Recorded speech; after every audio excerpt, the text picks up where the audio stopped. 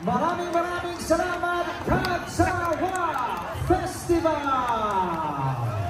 Woohoo! Mainit na mainit pa rin ang labanan, Tanya Chinita! Palakpakan man siya! Yeah!